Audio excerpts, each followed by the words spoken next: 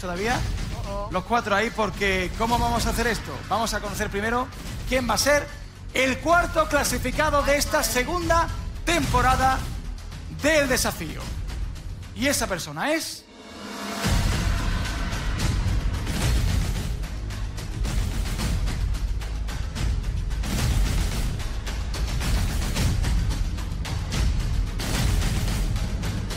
¡Jesulito Vique!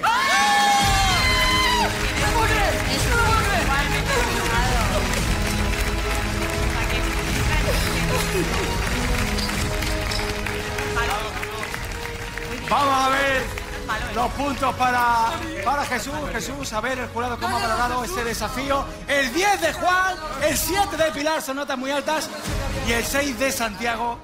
¿Qué tienes que decir, Jesús?